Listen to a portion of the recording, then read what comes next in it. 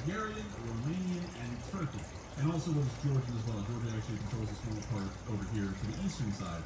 If we take a look at this entire lay of land, of course they're not showing what the Russians claim to control right now. The Russians claim to control a great deal of the Black Sea more than they actually do, considering that they've annexed Crimea and largely exert influence over the waters around that area. Well, Bulgaria's territorial waters hardly even intersect with Russian waters at all, even if we include the area around Crimea to be in those waters. If we look at it, really, honestly, it gets cut off by the Turks and the Romanians before it would even uh, reach what the Russians claim is Russian waters at this moment. And this is clearly an attempt at a provocation by the Russians because there is absolutely no reason that they need to close off any of Bulgaria, Romania, or Turkey's territorial waters to conduct a war game.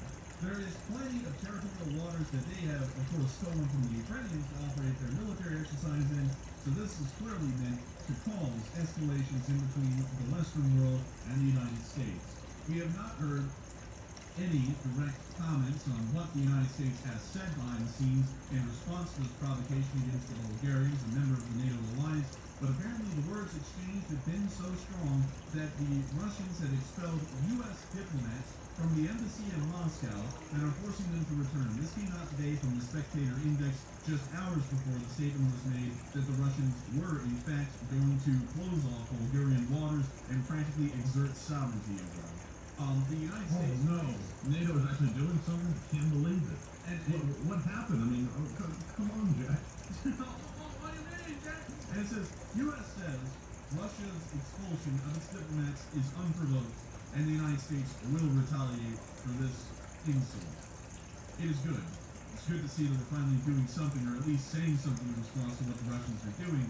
But of course, I have to make it quite clear at the moment, whatever has been said is behind closed doors. We don't know exactly why today was chosen to expel the U.S. diplomats. Many people thought that U.S. diplomats weren't even in Russia anymore. That was a somewhat untrue statement by people back in the day. Um, the United States Embassy was closed, but the embassy staff remained inside of Russia for quite some while. It's just that most normal operations of the embassy had ceased. Now they're expelling those diplomats and they will be returning to the United States. This is something showing there has been a complete diplomatic breakdown behind the scenes in between Russia and the United States, and it also shows that apparently we've exchanged some pretty uh, heated words about the Bulgarian situation with them over just the past few hours alone.